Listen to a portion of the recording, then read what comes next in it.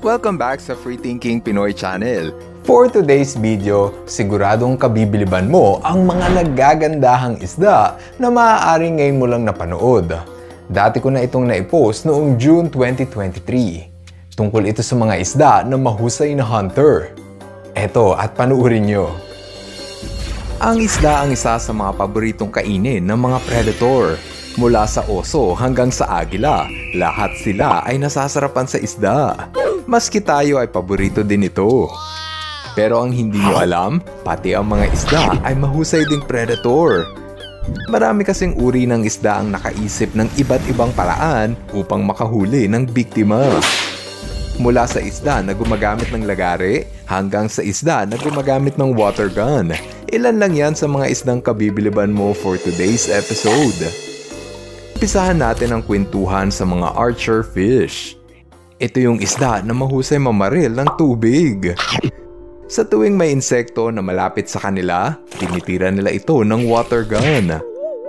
Napakahusay ng mga isda na to dahil 80% ng kanilang target ay tsak na matatamaan. Kahit ang yosi, kayang tamaan ng isda na to. Ang susunod ay ang isda na ubod ng talino. Ito ang mga tusk fish. Sa tuwing meron silang nakukuhang kabibe, ipinupukpok nila ito sa bato. Sa ganitong paraan, unti-unti nilang nababasag ang matigas na shell. Hindi ito titigil sa pagpukpok hanggat hindi niya nakukuha ang masarap na karne sa loob ng shell. Sa wakas, nabasag din niya ang shell. Sino mag-aakala na ang ganito kapangit at mukhang ordinaryong isda ay nakaisip ng tusong paraan upang buksan ang kabibe? Sa ilog ng Amazon, dito mo makikita ang electric eel. Kung hindi ka pamilyar sa isda na to, sigurado mahugulat ka rito. Ang mga electric eel ay isa sa mga kakaunting hayop na kayang maglabas ng kuryente gumagamit ang electric eel ng kuryente o yung tinatawag na electroreceptor upang pakiramdaman ang paligid. Sa tuwing pinapagana nila ang kanilang kuryente, nararamdaman nila ang lokasyon ng maliit na isda na siya namang paborito nilang pagkain. Kinukuryente nila ang kanilang target at sa ganung paraan, naninigas ang katawan nito at madali na itong hulihin. Dahil sa kanilang kakaibang teknik ng panguhuli ng pagkain, kasama sila sa ating listahan. Ito naman ang isda na sigurado akong pamilyar na ang lahat. Sila ang mga arawana. Pero alam mo ba na mahusay itong tumalon sa tubig? Kaya nilang lumundag sa taas na 4 feet. Ginagawa nila ito dahil pawang paborito nila ang mga insekto. Sa video, may kita ang insekto na sinabit sa takip ng aquarium. Maski pala ang palaka ay walang kawala sa gutom na arwana. Pamilyar ka ba sa isdang talakitok? Kung minsan ka nang nakakain ito, mahugulat ka dahil alam mo ba na isa ito sa pinakamalupit na hunter sa karagatan? Para sa iba, ang tawag nila rito ay giant trevally. Kapag lumaki ng husto ang talakitok, kaya na nitong mang-ambush ng ibon. Paborito nilang targetin ng mga ibon na nagpapahinga at nagpapalutang sa tubig. Kawawang mga ibon, wala silang kamalay-malay na makakain pala sila ng talakito. Alam mo ba na hindi lahat ng isda ay lumalangoy? Kung minsan, mas trip nila ang gumapang. May isang daang species ng isda ang kayang makasurvive sa lupa. Madalas sa mga isda na to ay gumagapang dahil sa kanilang paghahanap ng makakain. Sa tuwing nauubos ang pagkain sa kanilang pwesto, umaalis sila at humahanap ng panibagong lugar. Sa kanilang paglalakad, maaari silang kumain ng insekto gaya ng salagubang. Ito naman ang isa pang isda na halos gumapang na sa lupa, makahuli lang ng ibon. Ito ang mga Wells catfish at hilig nilang kumain ng kalapati pumupunta sa tabing ilog ang mga kalapate upang uminom kaya ito ang tamang oras ng mga hito upang umatake. Para silang buwaya kung mang-ambush ng ibon. May mga isda na agresibong humuli ng biktima, ngunit may ibang uri ng isda na marunong maghintay. Ito ang mga frogfish. Sila ang uri ng isda na mahaba ang pasensya. Gumagamit kasi ito ng pain na pinangaakit nila sa mas maliit na isda. Yang nakikita mong parang uod na gumagalaw, yan ang kanilang pain. Ginagamit nila ito na parang namimingwit ng pagkain. Kapag may nagkamaling lumapit, ito ang nangyayari sa kanila. Sa isang kisap mata, naglahong parang bula ang isda. Ito naman ang isa pang predator na may kaparehong estilo sa frogfish. Ito ang tinatawag na stargazer. Maganda lang ang kanilang pangalan pero mukha naman silang halimaw. Ang kanilang dila ay nagmimistulang uod kaya nilalabas nila ito na parang pain. Kitang kita sa video kung ano ang itsura ng kanilang dila. Magtatago sila sa buhangin habang naghihintay ng biktima. Kapag may lumapit sa kanilang patibom, ito na ang tsansang umatake. Pero hindi lahat ng isda ay nangangailangang manakit ng kapwa para lang makakain. Ang halimbawa nito ay ang cleaner wrasse. Kinakain kasi nito ang mga parasitikong dumikit sa balat ng hayop. Kinakain din ito ang mga dumi na naiwan sa bunganga ng pating. Sa ganitong paraan, nabubusog na ang cleaner rust, nalilinis pa nila ang katawan ng kanilang customer. Ito naman ang isda na kinaiinisan ng mga kasama nila sa karagatan. Sila ang tinatawag na lamprey. Isa itong uri ng isda na mahilig sumipsip ng dugo na parang linta. Ang bibig nito ay puno ng matatalas ng ngipin na ginagamit nila upang sugatan ang kanilang biktima. Sobrang dikit ng nguso nito kaya madali silang kumapit sa anumang balat. Nabubuhay sila sa paraan ng pagsipsip sa dugo ng kanilang kawawang biktima. Eto, nakakita ka na ba ng treasure shark? Ito yung uri ng pating na may napakahabang buntot. Pero hindi lang yan basta mahaba dahil ginagamit nila ito sa panguhuli ng isda. Sa tuwing may isda, hinahampas nila ito ng kanilang buntot puwersa na lumalabas sa kanilang buntot ay sapat upang malito ang isda. Kapag naging tuliro ang mga isda, saka ito kakainin ng pating. Hindi lahat ng pating ay may malaking katawan. Ang tinutukoy ko ay ang mga cookie cutter shark. Kumakain sila sa paraan ng pasimpleng kagat. Kapag may nakita itong hayop, kinakagat nila ito ng medyo kaunti lang. Matulis ang ngipin nito kaya madali silang nakakakuha ng piraso ng karne sa kanilang biktima. Gaya ng dolphin sa video, makikita ang kanyang sugat na kinagatan ng cookie cutter shark. Eto, pamilyar ka ba sa isdang moray eel? Ito yung isda na sobrang tapang maski ang pating ay kinakain nito. Kitang kita sa video ang pag-atake ng moray eel sa pating na halos kasing laki lang din niya. Puno ng matatalim ng ngipin ang bunganga nito kaya halos magkalasog-lasog ang katawan ng sinumang mabibiktima nito. Ito naman ang isang uri ng eel na kinatatakutan ng mga sea urchin. Ito ang wolf eel. Kahit mukhang nakakatakot ang kanilang itsura at pangalan, wala silang panganib sa mga tao. Sa halip, tanging mga sea urchin ang kinakain nito. Kung may maliligaw na alimango sa kanilang bahay, tsak nakakainin din nila ito. Amazing dahil para bang hindi sila nasasaktan sa tuwing kinakain ng tinik ng sea urchin. Ang last sa ating listahan ay ang isda na merong lagari. Ito ang tinatawag na sawfish. Alam mo ba na maraming pakinabang ang kanilang mahabang guso? Isa na dyan ay ang paggamit sa panghuli ng isda. Ginagamit nila ito upang gutay-gutayin ang katawan ng kanilang biktima. Gaya ng sa video, may kita ang pagdurog ng sawfish sa katawan ng isda. Ikaw, nag-enjoy ka ba sa ating listahan? Alin sa mababangis na isda na to ang pinaka nagustuhan mo? Teka muna, bago niyo mapanood ang susunod na video, konting shoutout lang muna. Hello kay Carbo Chan. Hello rin kay Momar Tito Kalan. What's up kay Paul Tristan? Shout out kay Steven Melia, Jay, Amber at Glenn Aguhar, Prince Irvin Bergonya, at sa pamilya ni Yuan Alcantara. Kung kanina ay listahan ng isda na mahuhusay na hunter, ito naman ang mga isda na may kakaibang depensa laban sa mga predator. Una ko na itong na-post noong August 2022. Enjoy the video! Sa video na to, mapapanood mo ang iba't ibang paraan ng mga isda at kung paano nila protektahan ang kanilang sarili sa mga kalaban. Mula sa isda na balot ng tinik hanggang sa isda na mahilig mangoriente. Lahat ng yan ay mapapanood mo for today's episode. Mag-umpisa tayo sa isda na mahilig magtago sa loob ng jellyfish. Ang mga dikya ang ilan sa pinakamakamandag na hayop sa planeta kaya laking gulat ng diver na kumuha ng video nang makita niya ang isda na nagtago sa loob ng dikya. Sa ganitong paraan, walang predator ang maglalakas ng loob para kainin ang isda. Ang cute dahil parang na-hijack o hinostage ng isda ang buong katawan ng dikya. Napakadaming predator ang pwedeng umatake sa pearlfish kaya nakahanap sila ng tamang lugar para magtago.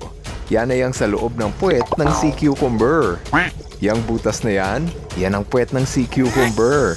Ang sea cucumber kasi ay hindi masarap sa paningin ng mga predator, kaya kung dito sila magtatago, siguradong ligtas sila rito. Dito naman sa next video, makikita ang mga isda na nakahanap ng padrino sa piling ng sea urchin.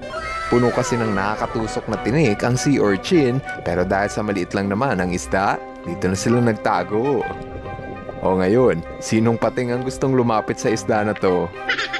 Kung walang ibang matataguan, ang mga flying fish ay nakahanap ng ibang paraan para takasan ang kalaban. Oh, wow! Meron silang malapad na palikpik na ginagamit nila upang makapag-glide sa taas ng tubig. Sa tuwing lumilipad, natatakasan nila ang kanilang mga kalaban. Lipad, flying fish, lipad! Ito naman ang mukhang halimaw na isda na may nakakatakot na paraan ng pangbubugaw sa kalaban. Ito ang fringe-head fish, ginagamit nila ang kanilang malapad na bibig para takutin ang mga trespasser. Dito ata pinaglihi ang lalaki na to sa palakihan ng bunganga. Kung nag enjoy ka sa video, baka naman pwedeng pakipindot ng like button at subscribe ka na rin sa FTP channel for more animal videos. Salamat! Sa dagat, huwag kang magulat kung may makita kang magbabarkadang isda. Ang tawag dito ay School of Fish. Hindi nila ito ginagawa sa ngalan ng pagkakaibigan. Ginagawa nila ito dahil mas mabilis lang naiiwasan ang mga kalaban. Mas madali kasing malito ang mga predator sa tuwing umaatake at mas mabilis ang reaksyon ng buong grupo kung kailan iiwas. Ang isda kasi na loner o mapag-isa ay mas mabilis hulihin pero kung sama-sama, kaya nilang sabayan na iwasan ang mga predator. Ang school of fish ay pwedeng umabot ng ilang libong individual at sa sobrang dami, para na itong ipo-ipo.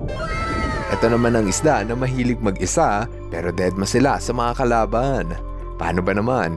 Balot kasi ito ng nakakalasong tinik kaya turn off agad ang may balak lumapit. Maski ang pamilya nila ay bawal magdikitan kung ayaw nilang matusok. Ito ang isda na mahilig sa social distancing. Huwag mong lalapitan ang mga lionfish pero ito naman ang pufferfish na sa sobrang cute mukhang masarap kurutin. Sa tuwing may kalaban, pinapalaki nila ang kanilang katawan na parang lobo. Balot ito ng tinik at may taglay na lason kaya nakakatawang isipin na ang ganito ka-cute na isda ay isa palang delikado. Hindi lang yan, masarap din pala ang kanilang karni. Ito naman ang isa pang cute na isda na kamag-anak ng pufferfish. Sila ang boxfish at kahit mukha silang cute, meron itong pamatay na sikreto. Sa tuwing inaatake sila ng kalaban, naglalabas ng lason ang kanilang katawan na humahalo sa tubig. Sa ganitong paraan, namamatay ang lahat ng isda na kasama niyang lumalangoy kasama na ang nangaaway sa kanya. Silent but deadly. Ang kamandag ang isa sa pinakapopular na self-defense sa Animal Kingdom. Pero ang pamilya ng stonefish ang nagdala sa salitang lason to the next level. Kapag natapakan mo ang isda na to, pwede ka matusok sa kanilang tinik. Sobrang talas nito at maski tsinelas ay butas. Oh no! Ayon sa Guinness World Record, ito ang most venomous fish in the world. Oh, wow! Kung gaano kalupit ang kanilang lason, ganyan din kasama ang kanilang mukha. Maraming kamag-anak ang mga stonefish at isa na dyan ang tasseled anglerfish. Gaya ng stonefish, masama rin ang mukha ng isda na to kaya alam mo magkamag-anak sila. Pero hindi gaya ng stonefish, walang kamandag ang isda na to at umaasa lang sa camouflage para makaiwas sa kalaban. Dahil sa kanilang anyo, akalain mo talagang sila ay gumagalaw na bato. Eh, Speaking of camouflage, ito naman ang isda na sobrang husay sa camouflage, akalain mong basura na lumulutang. Sila ang ghost pipefish at pilit nilang ginagaya ang mga halaman dagat para tantanan sila ng mga predator. O di ba? Di mo talaga akalain na isa itong isda. Sa lahat ng isda na nakita ko, ito na ata ang pinakamalupit mag-camouflage. Kaya mo bang hanapin kung nasaan ang isdang nagtatago? Sila ang mga flounder at sila ang masters of disguise. Kakulay kasi nito ang sahig ng karagatan kaya kung malabo ang mata mo, hindi mo talaga sila mapapansin. Ito naman ang mga isda na nakahanap ng proteksyon sa piling ng whale shark. Gaya ng isdang remora na sumama sa biyahe ng butanding para hindi sila lapitan ng mga kalaban. Kung ganito kalaki ang isda na kasama nila, walang pating ang mga ngahas na lumapit sa kanila. Dito naman sa Coral Reef, ang galamay ng sea anemone ay puno ng makate at nakakalasong galamay kaya iniiwasan ito ng maraming hayop. Pero hindi ang mga clownfish. Immune kasi sila sa laso ng sea anemone at dito pa nga sila nakatira. Dahil dyan, walang ibang hayop ang gustong gumalaw sa clownfish lalo na kung nagtatago ito sa nakakalasong galamay ng sea anemone. Kung nakitan ka sa makulay na clownfish, ito naman ang isda na sisira sa mood mo. Ito ang mga hagfish at isa ito sa produkto ng iyong worst nightmare. Sa tuwing may kalaban, naglalabas ang kanilang katawan ng slime na sa sobrang lapot, pwede itong bumara sa ilong o hasang at magdulot ng suffocation. Kaya wag mo silang lalaroin kung ayaw mong madagtaan. Sa lahat ng isda, ang mga electric eel na siguro ang pinakaastig. Piruin mo, kaya nila mag-generate ng 650 volts ng kuryente, sapat para pailawin ang bumbilya at sapat para pumatay ng buwaya. Guys, sa video, may kita ang pahingisay ng buwaya matapos itong magkamaling atakihin ang electric eel.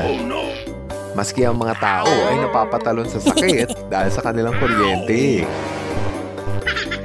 Kung ang electric eel ay may nakakatakot na kapangyarihan, ang mga glass eel naman ay may superpowers na invisibility. Ang mga bagong panganak na eel ay may translucent na katawan kaya halos di mo na sila makita. Sa ganitong paraan, halos invisible na sila sa paningin ng kanilang kalaban. Oh, wow! Posible pala ang maging invisible sa Animal Kingdom.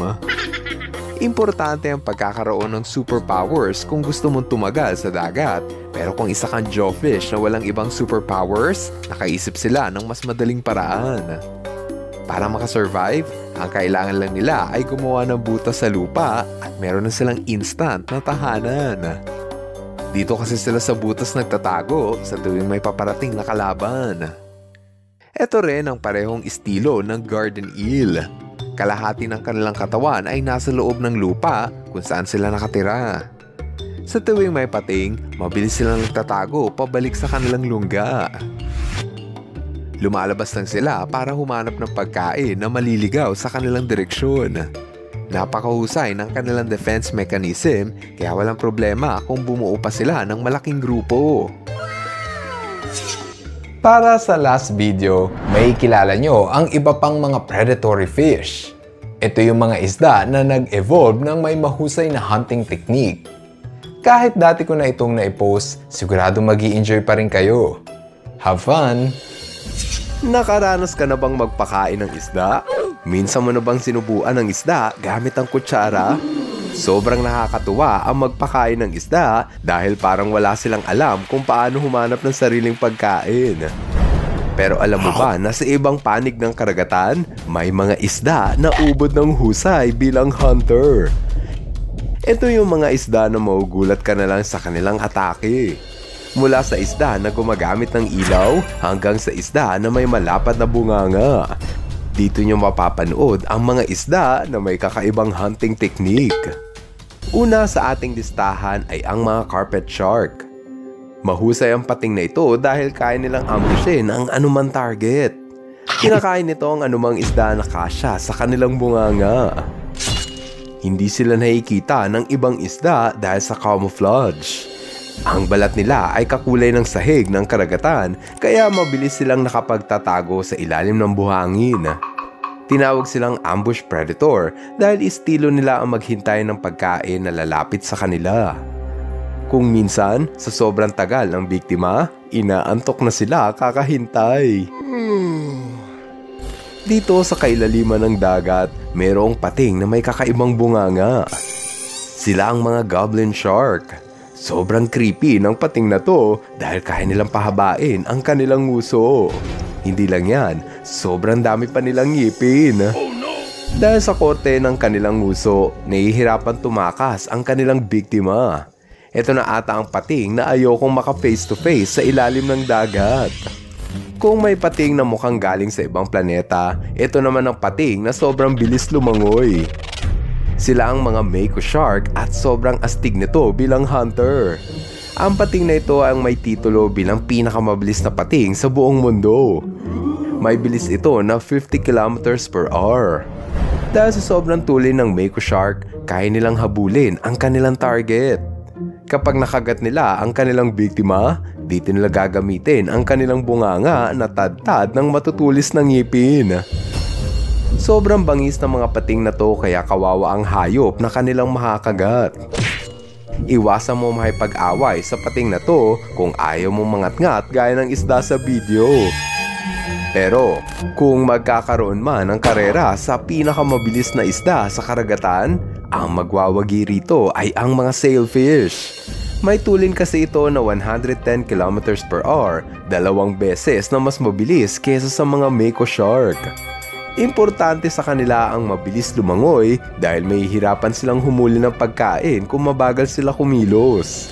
Nakatutulong ang kanilang mahabang uso at malapat na palikpik upang mas bumilis ang kanilang paglangoy. Dahil sa bilis ng isda na to, naging notorious sila sa mga mangingisda. Lumipat naman tayo sa ilog para makilala ang susunod na predator. Ito ang mga pikefish at mukha silang ordinaryong isda. Gayunpaman, hindi ito ang isda na pangkaraniwan mong nakikita. Paborito nilang targetin ng mga baby itik na maliligaw sa kanilang teritoryo. Gaya ng kawawang bibi na ito na walang kaawa-awang pinunteriya ng pikefish. Ito naman ang ibon na greb na minalas masakmal ng gutom na pikefish. Grabe, makakasurvive kaya ang ibon na to? Maski pala ang daga ay kayang kainin ng mga pikefish, basta kasya ito sa kanilang bunganga. Dahil sa bangis ng mga pikefish, kabilang sila sa listahan ng mga maaangas na isda. Kung tutungo tayo sa pinakamalalim na bahagi ng karagatan, dito natin makikilala ang ilan sa mga mababagsik na hayop. Sobrang dilim dito kaya ang ilan sa mga hayop ay natutong gumamit ng ilaw para humanap ng pagkain. Ang tawag sa ilaw na to ay bioluminescence. Ang halimbawa nito ay ang anglerfish. Meron itong umiilaw na pamingwit para akitin ng ibang isda. Kapag may lumapit na isda sa kanyang pamingwit, game over na yon para sa kanya. Nakakatuwang malaman na mayroon palang isda na gumagamit ng ilaw para makakain. Kaya kapag nasa ilalim ka ng dagat, huwag kang lalapit basta-basta sa ilaw. Dito sa deep sea, importante sa mga isda ang may matulis na ngipin. Gaya na lang ng isda na viper fish. Mabilis mo silang may kilala dahil sa kanilang napakahabang pangil. Sa ganitong paraan, walang takas ang biktima. Ito naman ang fangtooth fish na may ngipin na kasing tulis ng karayom. Dahil sa kanyang ngipin, madali siyang nakakahuli ng pagkain gaya ng hipon. Pero hindi lahat ng isda sa deep sea ay nakakatakot dahil ang iba parang ang cute atang panaurin. Gaya na lang ng pelican eel na may nakakatumang paraan ng panguhuli ng pagkain. Manipis lang itong isda gaya ng igat. Pero kapag oras na para kumain, dito biglang lumulobo ang kanilang bunganga. Ang kanilang bunganga ay kaya lumaki na 10 beses sa original nitong sukat. Sa ganitong paraan, nakukuha nila ang mga hayop na nagpapalutang-lutang sa dagat gaya ng krills at plankton. Mukhang meron ang humahamon sa patakawan kay Patrick Star. Sino kaya ang mas matakaw? Si Patrick Star o ang Pelican Eel? Sa tingin ko, si Patrick ang mananalo. Dito sa Pilipinas, may higanting isda na meron ding malapad na bunganga. Ito ang mga manta ray at kumakain ito sa paraan ng filter feeding. Sa tuwing sila ay lumalangoy, sinasagap nila ang tubig para salain ng mga krills at plankton. Kinakain nila ang anumang hayop basta't kasya sa kanilang bibig. Sa sobrang enjoy nila sa pagkain, napapatalon pa sila sa saya. Parang gusto nilang matutong lumipad. Ang susunod na ating bida ay ang whale shark o mas kilala sa tawag na butanding. Kumakain rin ito sa paraan ng filter feeding. Sinasagap nila ang tubig para malunok ang mga lumulutang na sea creatures gaya ng krills at plankton. Pero kung minsan, may mas nakakatuwang paraan ang mga butanding upang makakain. Yan ay sa paraan ng pamamalimos o paghingi ng pagkain sa mga tao. Mabuti na lang at may mga tao na willing magbigay ng isda para sa mga gutom na hayop. Ikaw, matutuwa ka rin ba mag-abot ng pagkain sa butanding? O katulad mo ang lalaki na to na halos maihi sa takot? Don't worry, ang mga whale sharks ay walang matutulis ng ngipin kaya hindi ka nito kayang saktan. Para sa ating huling bida, gusto kong makilala mo ang mga hammerhead shark. Matinik na hunter ang mga hammerhead dahil ginagamit nila ang kanilang malapad na ulo para makahanap ng pagkain. Ang kanilang malapad na ulo ay nababalot ng sensory organ na tinatawag na ampullae of Lorenzini. Ang ampullae of Lorenzini ay ang nagbibigay kakayahan sa mga pating upang mabasa ang mga electrical pulse sa katawan ng mga hayop. Dahil sa nakikita ng mga pating ang electrical pulse ng mga hayop, nalalaman nila kung may isdang nagtatago sa ilalim ng buhanginan. Lahat ng pating ay may ampullae of Lorenzini, ngunit ang mga hammerhead ang may pinakamaraming ampullae. Ibig sabihin, ang mga hammerhead ang may pinakamalakas na pakiramdam sa lahat ng pating. Pero, para sa akin, ang mga hammerhead ang may pinaka-cute na baby shark. Tignan mo, mukha silang stuffed toys na masarap pisilin. Kung nag-enjoy ka sa ating video, don't forget to click the like button. Maraming salamat! FTP viewers, thank you so much sa panonood mo na aking video. Kung nagustuhan mo ang video na ito, subscribe na sa FTP channel.